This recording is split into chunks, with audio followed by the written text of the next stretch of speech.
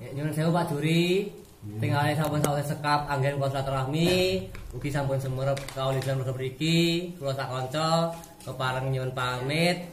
Mboten kesupen nyuwun tambahi pangestu kandunganipun ampre cedhek jodhone. Amin. Amin. Amin. Amin. Amin. Amin.